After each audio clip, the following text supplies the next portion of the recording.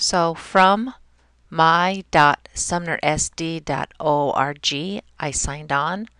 I'll go to Google Email, make sure I'm in the Mail tab. Now when I send emails, I like to have my signature at the bottom already for me, and I like to put in my teacher website so that parents and students know where all my assignment information is. It's great advertising. So go to Settings, click on Settings, and in the General tab, scroll down,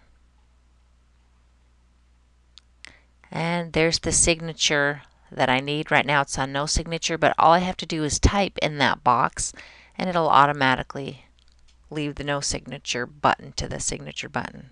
So let's put in my signature and maybe I have a teacher website and I've typed in my teacher website. Now I just need to save it. Click Save Changes.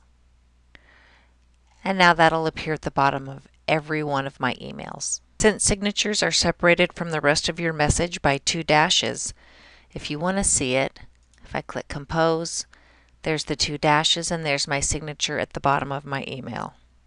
Let me try this email. Dear student.